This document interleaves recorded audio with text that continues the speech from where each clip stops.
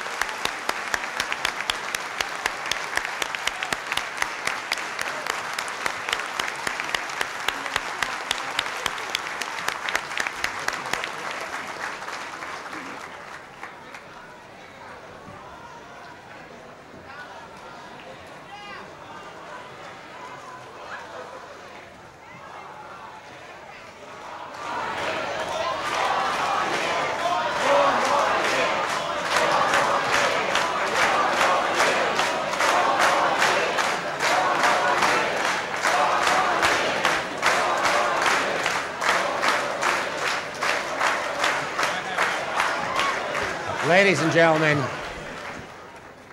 please rise at this time for the chanting of the Hatikva to be followed by the Star Spangled Banner.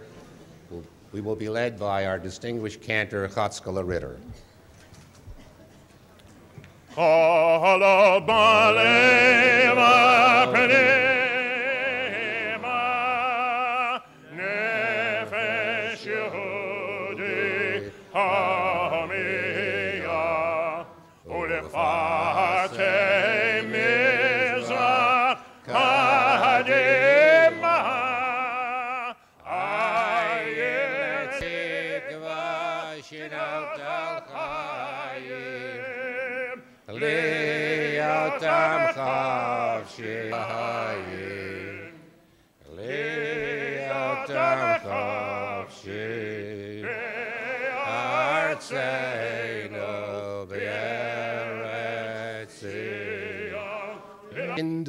sitting president to visit an American synagogue.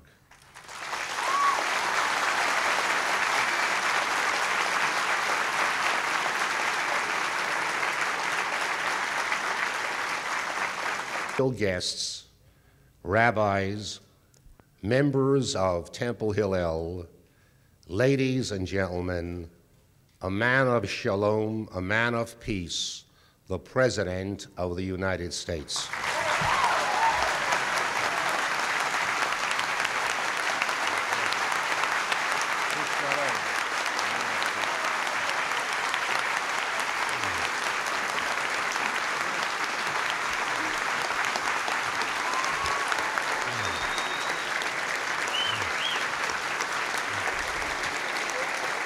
Thank you very much.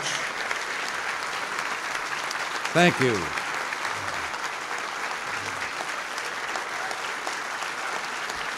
Well, thank you.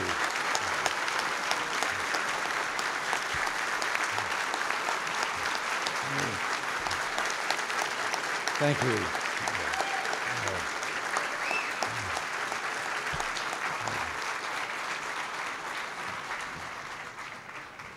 Rabbi Friedman, Senator D'Amato, members of Temple Hillel, and to all of you, a very, very warm thank you for this, this wonderful greeting. It is a great honor for me to be here with you today.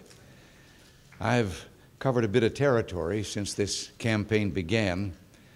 What's heartened me most is the new spirit that I have found around this country a spirit of optimism and confidence, of pride and patriotism that has been brought forth by a great American renewal. America's greatest gift has always been freedom and equality of opportunity. The idea that no matter who you are, no matter where you came from, you can climb as high as your own God given talents will take you. But a few years ago, we were being told that this vision was no more, that America was in decline, and all of us had to lower our expectations. I think you remember the disasters that defeatist spirit led to. The first back to back years of double digit inflation since World War I, a 21.5% prime interest rate, record taxation, declining growth, savings, investment, income, and confidence in our future, not to mention growing problems of crime and drugs and in education. Overseas, we had lost the respect of friends and foe alike. Our determination had grown weak, undermining commitments to even our closest friends, like Israel. We talked and acted like a nation in decline, and the world believed us. Well, in 1981, the American people set out on an entirely new course. And working together, we have cast aside the pessimism, along with high inflation, stagnation, and weakness, in a wonderful rebirth of freedom, prosperity, and hope. And today we're seeing not humiliation and defeatism, but pride in ourselves, in our accomplishments, and in our country. From New York Harbor to San Diego Bay, a strong economic expansion with low inflation is leading the rest of the world into recovery. America is back. America is on its feet, and America is back on the map. But we cannot and we will not rest until every American who wants a job can find a job. A nation's greatness is measured not just by its gross national product or military power, but by the strength of its devotion to the principles and values that bind its people and define their character. Our civil rights, on that subject, we are enforcing the law with new determination. Since we took office, the Justice Department has filed more criminal charges on civil rights violations, brought more violators to trial, and achieved more civil rights convictions than anyone before us. I've said this before, and I'll say it again. As president, I will continue to enforce civil rights to the fullest extent of the law.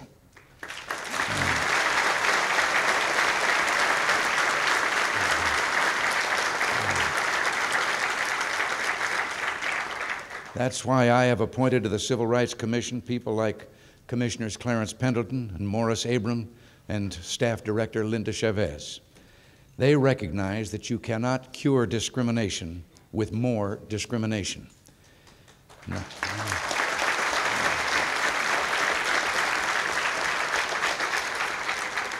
I'm proud that they're serving on the commission, and I intend to keep them there.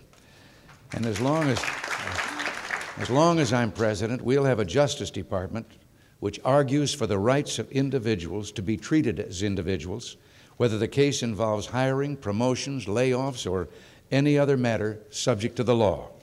And we're also remembering the guiding light of our Judeo Christian tradition. All of us here today are descendants of Abraham, Isaac, and Jacob, sons and daughters of the same God. I believe we are bound by faith in our God, by our love for family and neighborhood, by our deep desire for a more peaceful world, and by our commitment to protect the freedom which is our legacy as Americans. These values have given a renewed sense of worth to our lives. They are infusing America with confidence and optimism that many thought we had lost. You know, when you talk about human life, I think that means seeing that the immeasurable pain of the Holocaust is never dehumanized.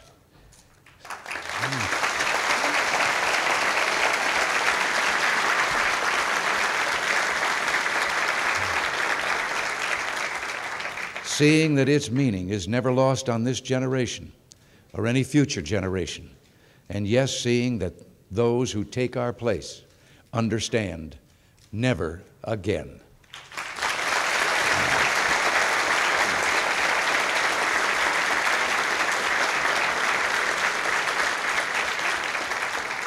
Now, perhaps that message should again be impressed on those who question why we went on a peacekeeping mission to Lebanon. Indeed, anyone who remembers the lesson of the Holocaust must understand that we have a fundamental moral obligation to assure never again.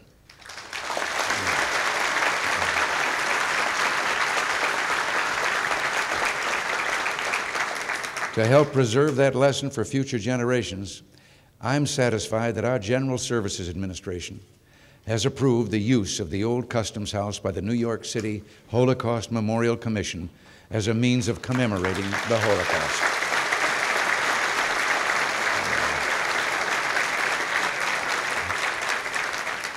And it will be a museum of the Jewish people in the diaspora. It will serve to remind our children and our children's children the tragic consequences of bigotry and intolerance. We in the United States, above all, must remember that lesson, for we were founded as a nation of openness to people of all beliefs. And so we must remain. Our very unity has been strengthened by our pluralism. We establish no religion in this country. We command no worship. We mandate no belief, nor will we ever. Church and state are and must remain separate.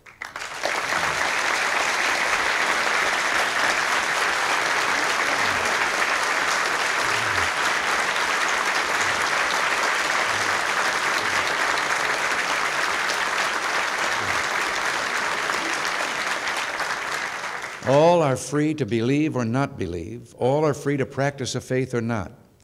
And those who believe are free and should be free to speak of and act on their belief.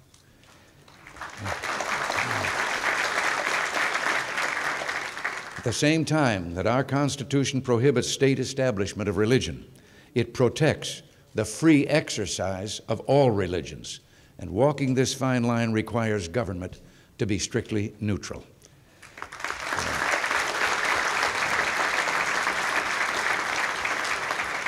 And government should not make it more difficult for Christians, Jews, Muslims, or other believing people to practice their faith.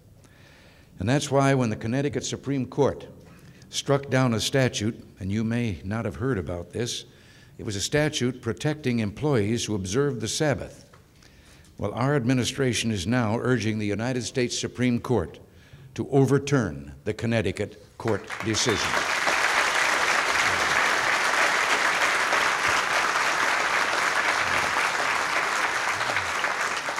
And this is what I mean by freedom of religion.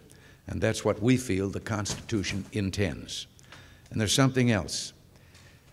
The ideals of our country leave no room whatsoever for intolerance, for anti Semitism, or for bigotry of any kind. None. In Dallas, we acted on this conviction.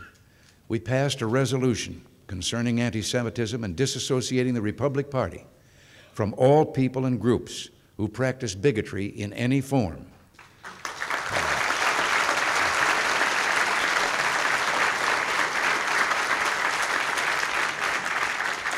But in San Francisco this year, the Democratic Party couldn't find the moral courage or leadership to pass a similar resolution.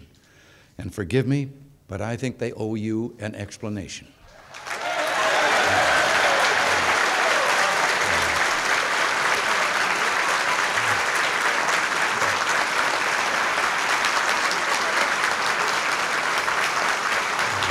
Thank you. What? What? What has happened to them? Why, after the issue became so prominent during the primaries, did the Democratic leadership walk away from their convention without a resolution condemning this insidious cancer? Why didn't they turn their backs on special interests and stand shoulder to shoulder with us in support of tolerance and in unequivocal opposition to prejudice and bigotry.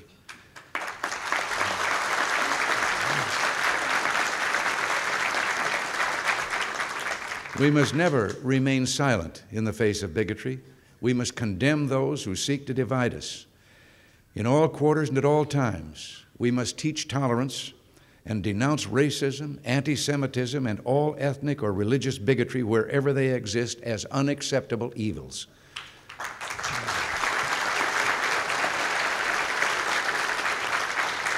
We have no place for haters in America, none whatsoever.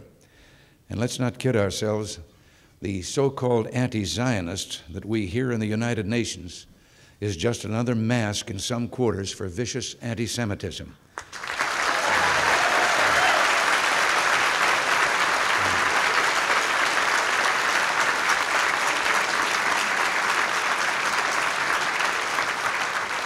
And that's something the United States will not tolerate wherever it is, no matter how subtle it may be. We have a tremendous watchdog on this. Jeane Kirkpatrick.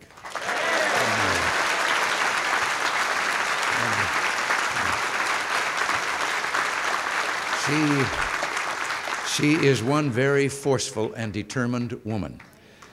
And she has defended Israel with persistence and courage, and America is very proud of Jeane Kirkpatrick.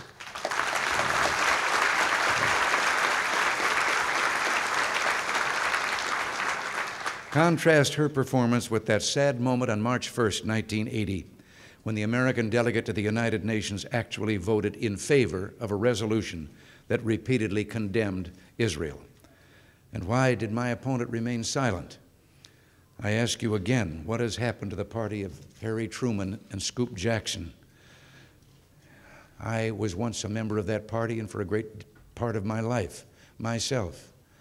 And I don't believe that what we have seen and what I've been talking about is true of the millions of rank and file patriotic Americans. It is only true of an element of leadership that somehow seems to have lacked the courage to stand for what is right. I,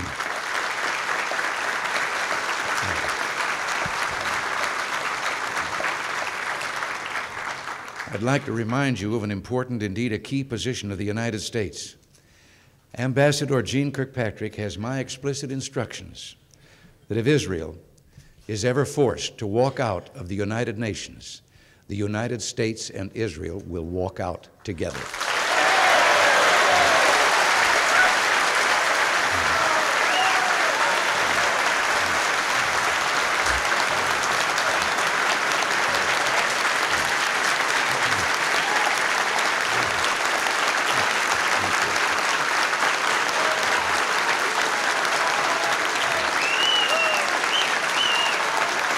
Thank you very much.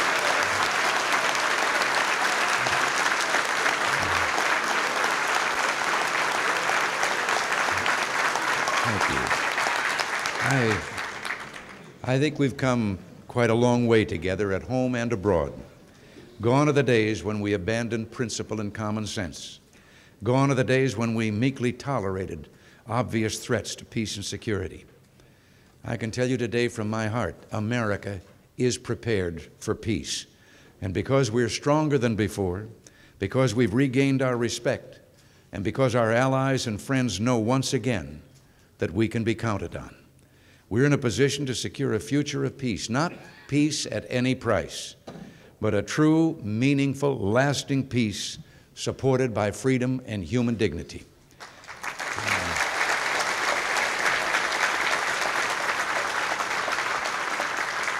Now, make no mistake, if ever we were to heed those who would cripple America's defense building program, we would undermine our own security and the security of our closest friends, like Israel.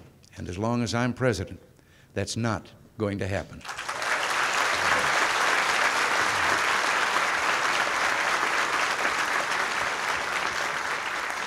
Israel and the United States are bound together by the ties of family, friendship, shared ideals, and mutual interests.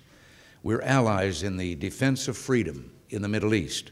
And I'm proud to say, borrowing Prime Minister Peres's words of two weeks ago, relations between the United States and Israel, quote, have reached a new level of harmony and understanding.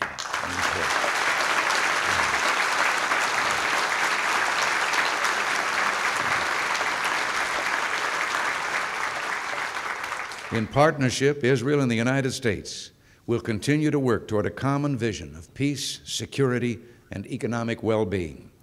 Our friendship is closer and stronger today, yes, than ever before, and we intend to keep it that way. But let me, let me leave you with one final thought. I know that many of you here today have your political roots in the Democratic Party. And I just want to say to all of you, uh, repeat what I said a moment ago, that I was a Democrat most of my life. And I know what it's like when you find yourself unable to support the decisions of the leadership of that party. But to you and to the millions of rank and file Democrats who love America and want a better life for your children, who share our determination to build a stronger America at home and abroad, I can only say, come, walk with us down this new path of hope and opportunity, and in a bipartisan way, we will keep this nation strong and free.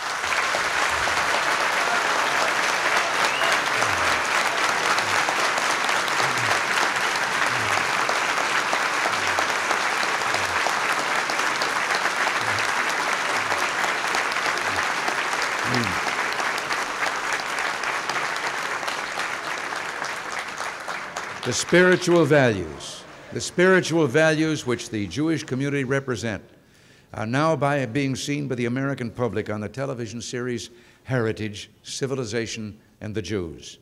These are values we want and need in the Republican Party. We stand with you, working for an America that works for everyone, an America strong and successful, inspired and united for opportunity. We stand with you, committed and determined to help you protect the traditions and ethics that you hold dear. And we stand with you in your belief in the inviolability of the First Amendment. We stand with you in com- condemning any and all who preach or countenance bigotry, hatred, or anti Semitism. We stand with you in supporting the rights of Soviet Jewry and other believers.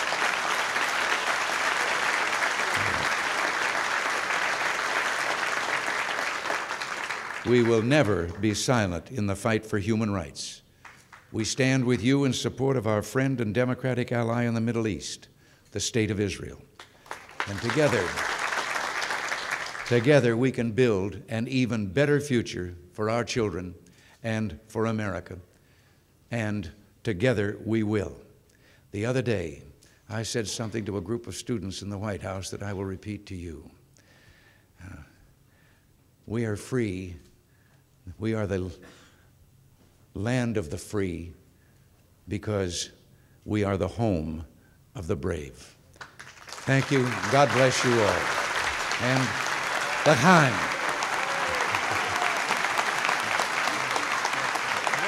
I have a little gift for you.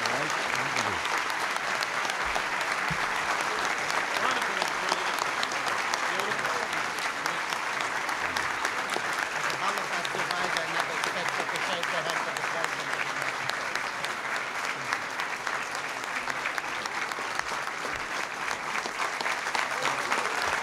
It- It's just overwhelming feeling of loyalty and sentiment.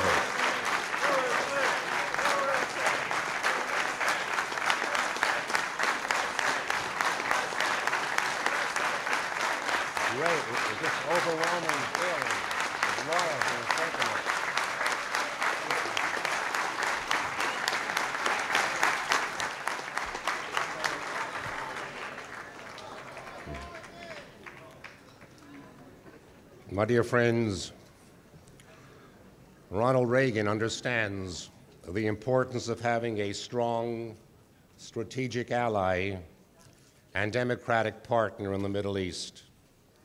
It was his steadfast and unwavering support that led this president to enter into an all embracing strategic cooperation agreement with Israel. To this end, President Reagan has pledged his administration's full support in helping Israel become safe, secure, and solvent.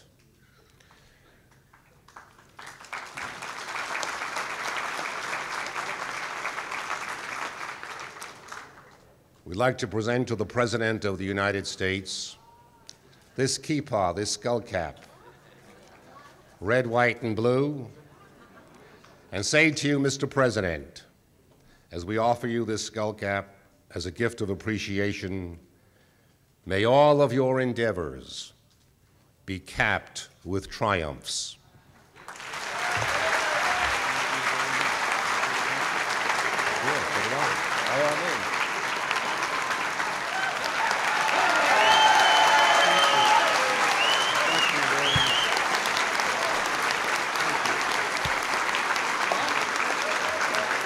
Take this one from you.